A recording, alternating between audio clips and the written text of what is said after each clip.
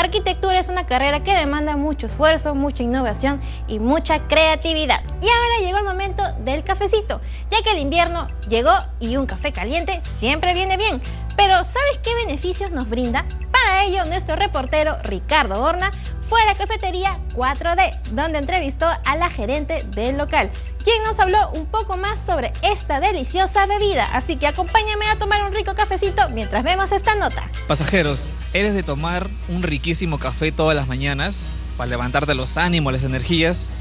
Pero no sabes cuáles son las propiedades. Si no lo sabes, acompáñame en la siguiente nota.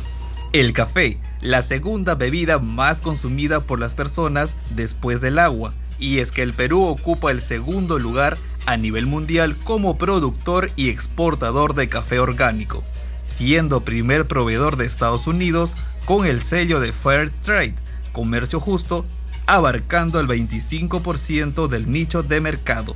Lo más importante para un café es que sea 100% café y que la calidad de los granos sea A1. Podemos utilizar muchísimos granos. Yo en mi mezcla generalmente utilizo siete tipos de granos, tanto de Perú como de otros países, de acuerdo a cómo se da la cosecha cada año y cómo está el mercado.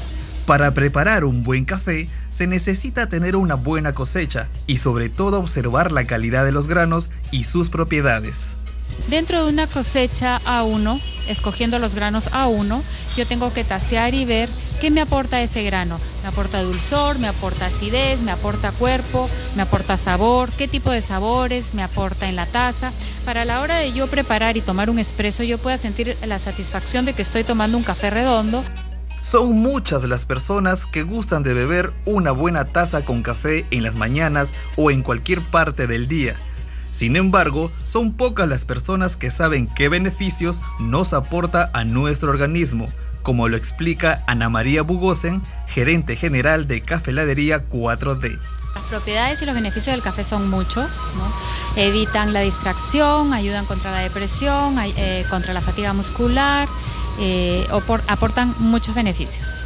Lo básico en 4D es que todas las recetas que yo he creado y todo lo que se viene haciendo acá con todo el equipo de trabajo parte en un principio nutricional, en un principio de conservar de cada alimento todas sus propiedades y sus cualidades y siempre escoger dentro de todos los ingredientes la mejor calidad. La maestra pastelera Ana María nos enseñó cómo preparar un riquísimo café expreso que nos hará pedir otro para llevar.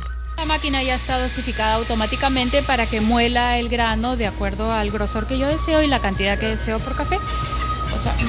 ¿Y este café que, que nosotros es acá de Perú o del extranjero? También es de Perú. Es una mezcla de siete países. Hay diferentes granos. Entre ellos tiene cafés de Perú como chanchamayo y también de puno.